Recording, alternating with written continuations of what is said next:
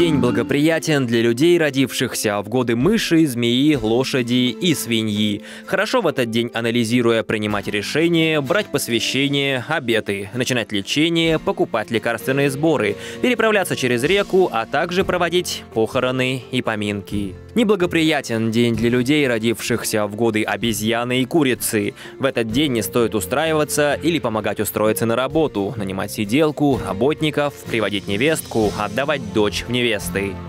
Стрижка волос, к сплетням и ссорам, отправляться в дорогу, к увеличению благосостояния.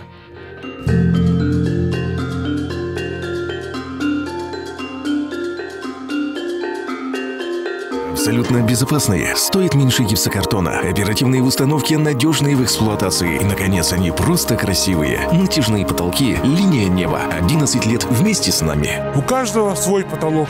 У меня линия неба.